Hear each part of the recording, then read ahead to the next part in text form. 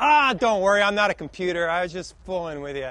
You know, actually, I want to tell you about how to recycle computers and other things called e waste.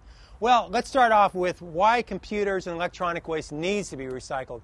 Most computer circuit boards, including the monitors, the keyboards, contain heavy metals such as zinc, lead, um, copper. And if those type of metals get into the environment, then it causes all kinds of havoc with natural ecosystems. It hurts the animals and the plants that live in the environment, and it hurts people too.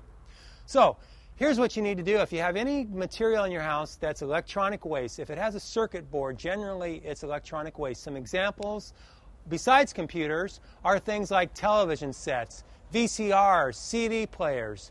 So, if you want to know where to recycle those materials, go to a website. It's eRecycle. It gives you all kinds of information how to recycle those computer parts. And by recycling, you'll be keeping those heavy metals and all that other pollutant material out of the environment, and it will also help them be made into new products that can be used by all of us. If you'd like more information, check out the eRecycle website. It'll, it'll tell you exactly how you can live a little more gently on the earth.